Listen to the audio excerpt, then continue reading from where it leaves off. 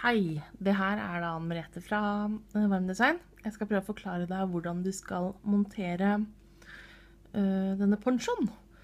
Uh, det du gjør er at hvis du legger ponchodelene uh, flatt på gulvet, sånn som jeg har gjort her, at du har en ponchodel her, og så har du en ponchodel her.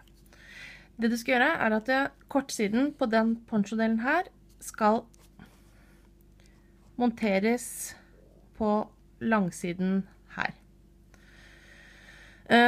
den avstanden her er bare relativ, for den, er, den, er, ikke så stor.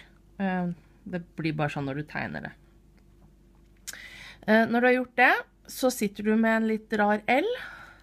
da tar du kortsiden på den her, og så bretter du den mot her. På den andre delen så skal den festes der. Det vil si at du da, når du holder den opp, hvis du holder opp i halsen, så vil du få en halsåpning her, den halsen der, og den der, den åpningen der, og den åpningen der går mot hverandre, så det blir halsen, det er der. Eh, så vil du få en søm som går omtrent der, og så får du en søm på den andre siden av skulderen som går omtrent der.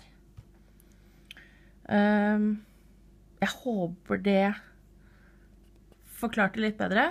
Uh, hvis ikke, så sier du ifra. Send meg gjerne en melding. Hei.